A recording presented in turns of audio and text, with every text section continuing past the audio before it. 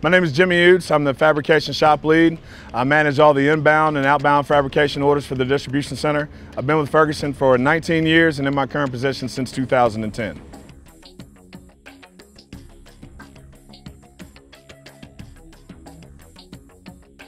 In this particular fab shop, we do cut to length pipe and end finishing only. Um, we provide orders for branches and custom work orders for end user customers. Uh, what we have here is our bandsaw, uh, cuts up to 16 inch straight cut. Uh, this is our inbound feed table.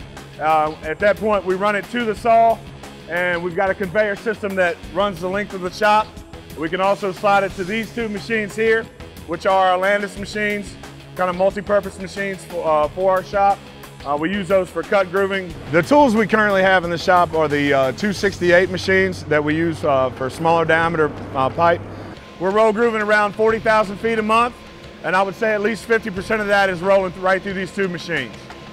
Uh, we also have um, three of the VE460s, two of which that we're getting ready to replace. Now we're getting the RG5200Is. Biggest challenges with grooving pipe has to be grooving the pipe to the specification required. Anyone can take a piece of pipe and put a groove in it.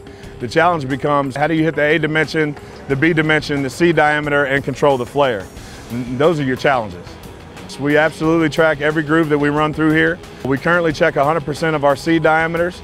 Uh, on roll groove pipe, we check the first, the 30th, and last of every A, B, and flare. All of that, uh, all of that data is then uh, taken into the office, punched into a database, scanned, registered, and saved. The RG5200i, we're, we're going that direction um, simply really based on ease of specification and acquiring specification. It gives our guys confidence in the fact that the groove they're putting into that is correct. It also aligns us as a vendor and a distributor to be on that same page to our end user customers.